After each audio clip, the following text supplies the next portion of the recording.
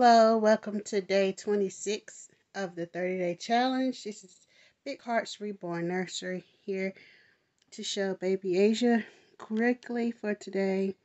She is taking a nap. I didn't even want to disturb her. Baby girl is sleeping good. And I did not want to disturb her.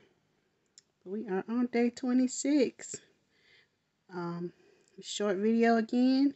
Thank you for watching, and we will see you tomorrow. Bye-bye.